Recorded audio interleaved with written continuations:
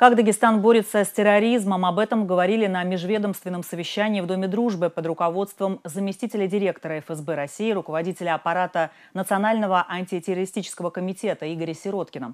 Было отмечено, что в регионе в этом направлении ведется эффективная работа, но надо продолжать адресные мероприятия, а именно беседовать с молодежью и формировать у них негативное отношение к идеологии терроризма. На совещании также напомнили о том, что в текущем году республика отмечает важную и памятную памятную дату празднования 25-летия разгрома международных террористов, вторгшихся в 1999 году в Дагестан. Начнется цикл мероприятий на базе исторического парка «Россия. Моя история», а именно проект «Защитили Дагестан. Защитим Россию».